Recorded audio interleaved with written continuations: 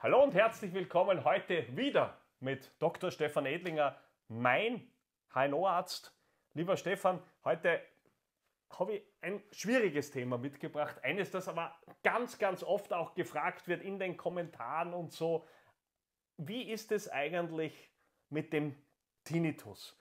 Und zwar jetzt auch ganz spezifisch kommt ja ganz oft die Frage, hilft eigentlich ein Cochlea auch gegen Tinnitus? Ist das ein Mittel dagegen oder vielleicht magst du überhaupt ein bisschen ausholen, um das Thema so ein bisschen verständlicher zu machen? Lieber Robert, vielen Dank. Du hast uns heute oder mir eine sehr, sehr spannende und schöne Frage mitgebracht. Ähm, was beim Tinnitus, um ein bisschen auszuholen, wirklich passiert, wissen wir bis heute nicht genau. Mhm. Wir wissen also in irgendeinem Grund in unserem sehr, sehr feinen Signalweg zwischen Wahrnehmung und Umwandlung eines Schallsignals von außen im Innenohr wird das umgewandelt von Schallwellen in elektrische Impulse, mhm. dann über die Hörbahn Richtung Gehirn geleitet und dort zentral verarbeitet.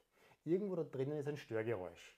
So wie jetzt lauter Kühlschrank im Hintergrund, wie der Zug vorm Haus, wie die Stromleitung, die über mir ist, irgendwo nehme ich ein Signal wahr, das einfach da ist. Mit dem einen großen Unterschied, es höre nur ich und du mhm. in dem Fall nicht. Das heißt, es ist mein körpereigenes Störgeräusch. Ob da jetzt jemand eine Stromleitung verlegt hat oder einen Kühlschrank irgendwo eingebaut hat, da sind wir uns sicher, das ist nicht passiert. Wir wissen aber, dass hier gewisse Botenstoffe zu viel da sind. Wir wissen, dass zu viel Erregung da ist. Man kann mit so Funktions-Kernspintomographen nachweisen, dass hier wirklich Signale da sind mhm.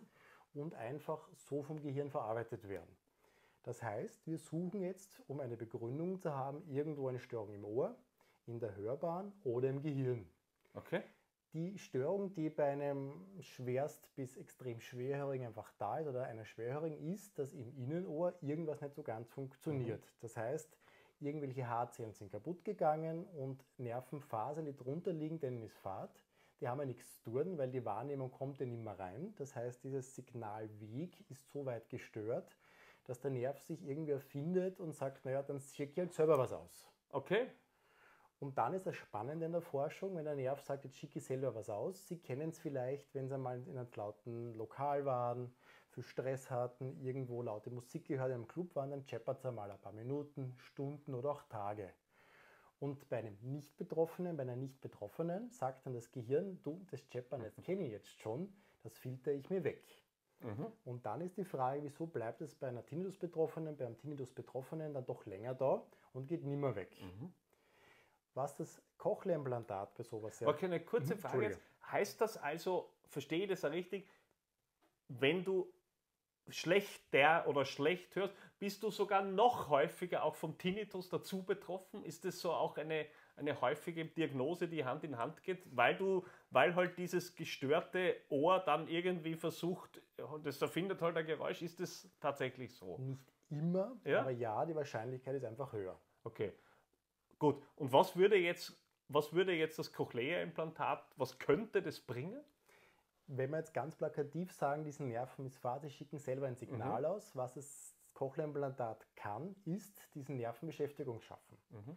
Das Implantat arbeitet mit einer Elektrode, die Stromimpulse im Innenohr abgibt und damit diese Nervenfasern wieder reizt und die Signale weitergegeben werden Richtung Gehirn. Mhm.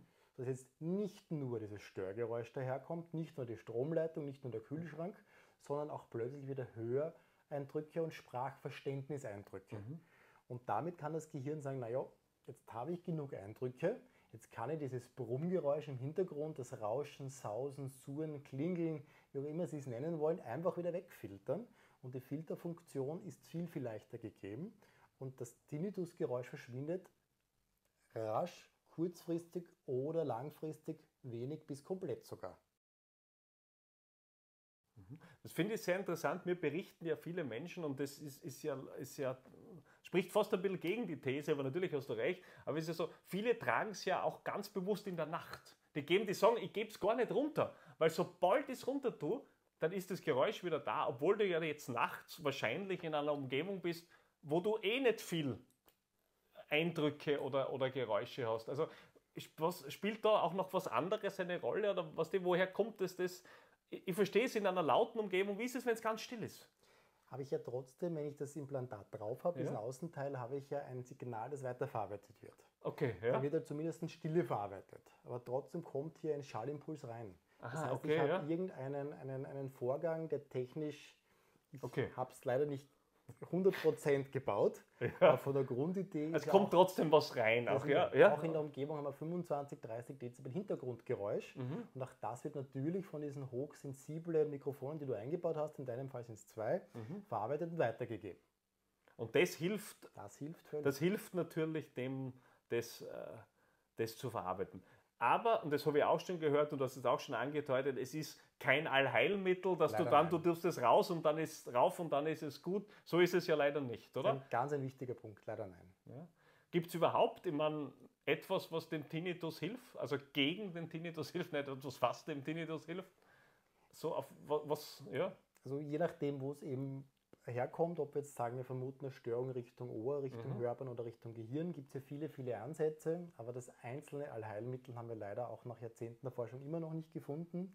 Ähm, es gibt aber sehr viel, was Mhm. Betroffene eben unterstützen kann, ähm, zumindest die Kompensation, die Verarbeitung so weit fördern Mhm. und unterstützt, dass ich sage, damit kann ich leben. Das passt schon. Super, vielen Dank. Großes Thema, komplexes Thema. Ich hoffe, wir haben ein bisschen einen Einblick bekommen. Wenn ihr weitere Fragen an den lieben Dr. Stefan habt, dann lasst es einfach hier unten in den Kommentaren was da. Ich bin sicher, dass ich wieder mal vorbeikommen darf und dir noch ein paar Fragen stellen darf. In diesem Sinne, ähm, danke fürs Zuschauen. Wenn es euch gefallen hat, abonniert den Kanal. Alles Liebe, ciao. Vielen Dank.